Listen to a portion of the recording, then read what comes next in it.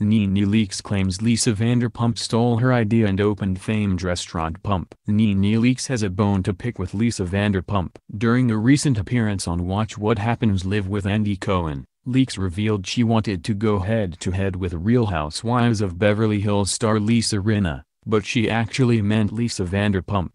Leakes clarified why she has a beef with Vanderpump during her appearance on Jenny McCarthy's SiriusXM show Friday explaining that she believes she gave Vanderpump the idea to start Pump Restaurant.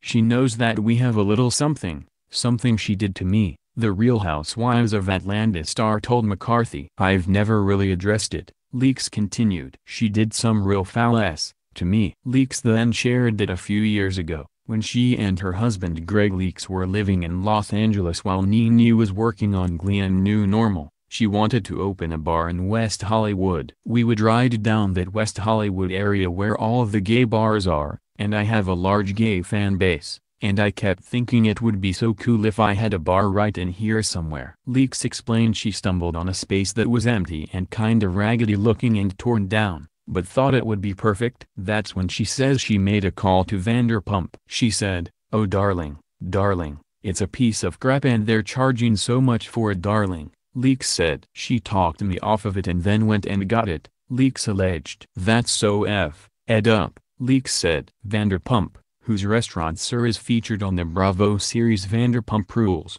opened Pump in 2014. Vanderpump also owns Villa Blanca in Beverly Hills. Nonetheless, Leakes and Vanderpump have not spoken about the issue since. Now when she sees me, she's like hi Nene, Leakes explained. A representative for Vanderpump did not immediately respond to people's request for comment. Vanderpump isn't the only Bravo star Leakes has issues with. For the last several years, Leakes has been feuding with on-again, off-again friend Kim Zolciak. Their differences came to a head in 2017 after Leakes slammed Zolciak's daughter Brielle for claiming she found roaches in Leakes' home. Kim and her daughter Rupe's whole family are racists. What her daughter did at my home which she nor Kim were invited to so be clear ABT that as well, was pure disgusting, racist, learned behavior, Leakes said at the time. The two seemingly buried the hatchet last year following Leakes' husband Greg Leakes' cancer diagnosis when Zolciak sent her a gift basket.